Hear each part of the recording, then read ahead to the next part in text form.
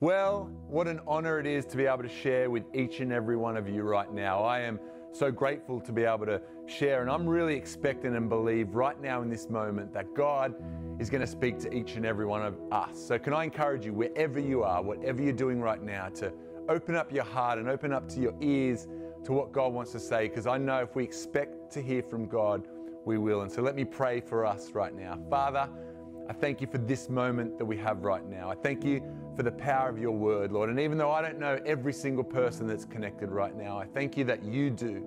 Lord, you know each and every single one of us. You know our situation. You know the season that we're in. I pray right now through the power of your word and the power of your spirit that you would bring courage to each and every one of us and help us continue to walk this incredible journey that you've created for us. In Jesus' name, everyone said, Amen.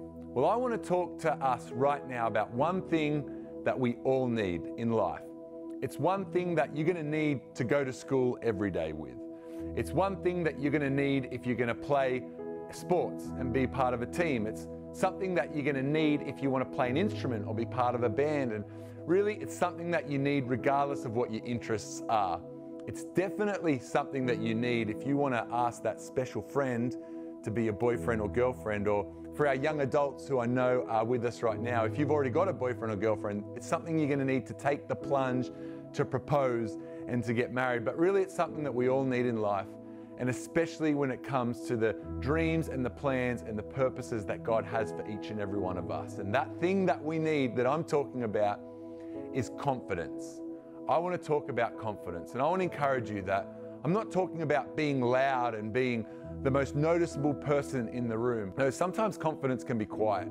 It's, it sometimes can be an inner strength, and it's something that we all need. And I don't know where you are on this journey of following Jesus. And maybe you have a dream that you know God's placed in your heart, and you realize you're going to need confidence to fulfill that dream. Or maybe you're not sure what it is that God's called you to do. But can I tell you that the truth of God's word, that it is beyond anything that you could think, dream, or imagine. And we're going to need godly confidence on the journey. And confidence isn't something that comes naturally to us all. At least I know for me, it never came naturally. And it's also something that once you get confidence, that, you know, it is something that can be lost. If we look at Hebrews chapter 10, verse 35, it says, Do not throw away your confidence, it will be richly rewarded.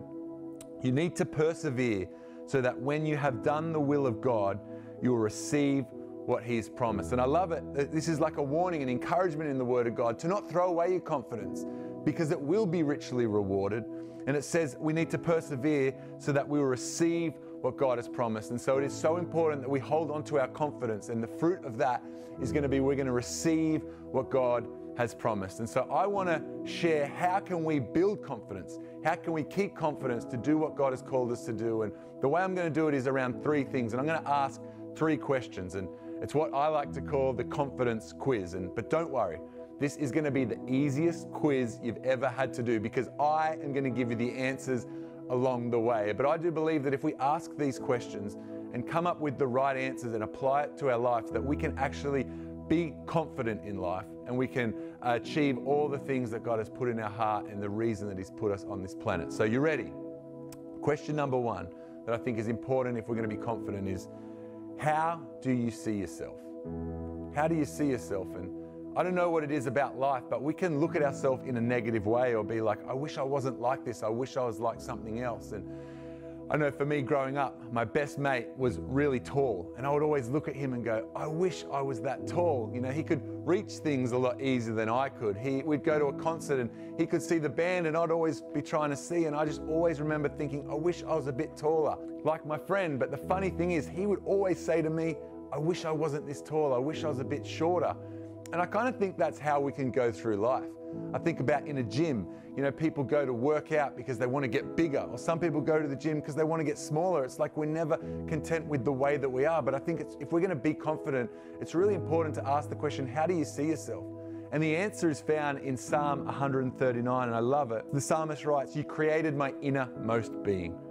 You knit me together in my mother's womb. I praise you because I'm fearfully and wonderfully made. And maybe you read this scripture early on in your journey of following God, or maybe you've never heard it before, but can I tell you and can I remind you that you are fearfully and wonderfully made? You are not a mistake. God has not made a mistake. But you are not an accident. You are fearfully and wonderfully made. And so the question is, how do you see yourself? Well, the answer is if you want to be confident the way that God's created you, is the answer is you are fearfully and wonderfully made. And can I remind you of that tonight, wherever you are, whatever you've been through? That God loves you and that He's created you for a purpose and that you are incredibly valuable. And we need to trust in God. And when we can understand, when we can look at ourselves, realizing that we're fearfully and wonderfully made, created in the image of God, then that's going to build confidence for us to be all that God's called us to be. The second question, if we're going to build this confidence, if we're going to make sure we don't throw it away, and as a result, we receive the promise of God for our life, is how do you live your life? How do you live your life? Because the answer is going to determine how confident you are. And if I can just for a moment put on my pastor's hat and be Pastor JD to all of you, I'd like to say that the way that you live your life matters. And the way that you live your life is going to have a direct effect on your confidence. You can live in a way that's going to actually make you shrink back and be less confident, or you can live in a way that is going to build your confidence. And the answer to how do you live your life? The answer is according to the Word of God. I don't know how much you've read this book.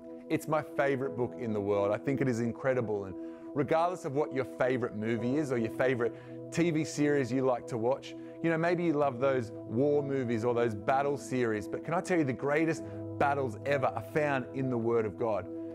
Maybe you like you like the love story, you like the romance. Well, the greatest love stories are in this book.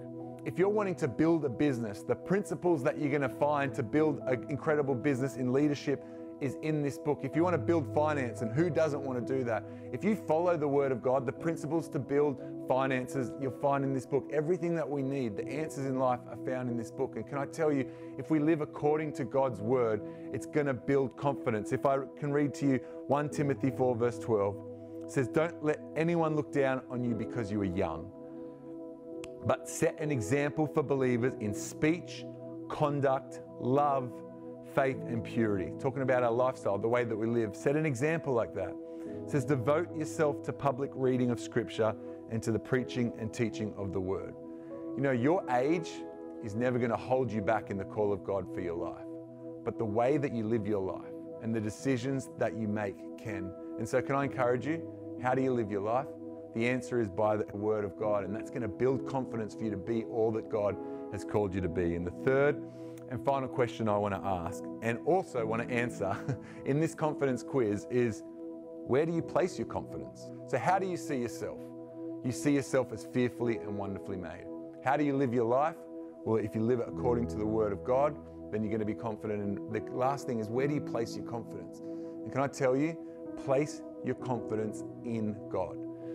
You know, I don't know how or why, but what God has allowed me to be a part of is an incredible team called Hillsong United, and we've been had the opportunity for a long, long, long time to travel all over the world and lead people in worship and, and, and play these worship songs. And I kind of feel like God's got a sense of humor because some of the platforms I've been graced to be able to stand on is, you know, we've played at the Staples Center in LA, which is where the LA Lakers, the famous NBA LA Lakers play. And we played there twice and sold it out both times.